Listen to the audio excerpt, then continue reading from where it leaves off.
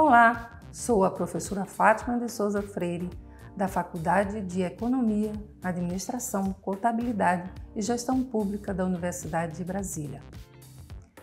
O curso de especialização em Gestão Pública Municipal, GPM, da Universidade de Brasília, coordenado por mim, está hospedado no Departamento de Administração da Faculdade de Economia, Administração, Contabilidade e Gestão Pública, FACE.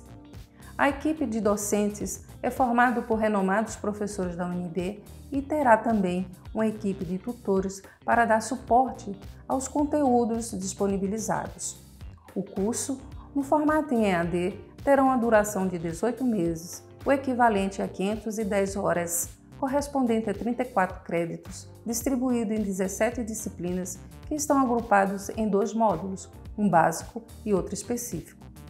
A CAPES autorizou a abertura de 150 vagas que serão distribuídos nos polos onde a UNB tem parceria, sendo eles Águas Lindas de Goiás, Alto Paraíso, Anápolis, Barretos, Buritis, Goianésia, Lábrias e Pirinópolis.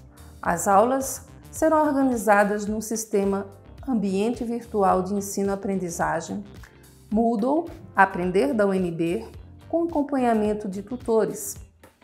Ao longo do curso, e a depender de restrições sanitárias, serão realizados encontros presenciais nos polos, momento este que servirá para discussões temáticas por parte dos professores das disciplinas ofertadas, orientações, oficinas, avaliações de aprendizagem e apresentação de trabalhos.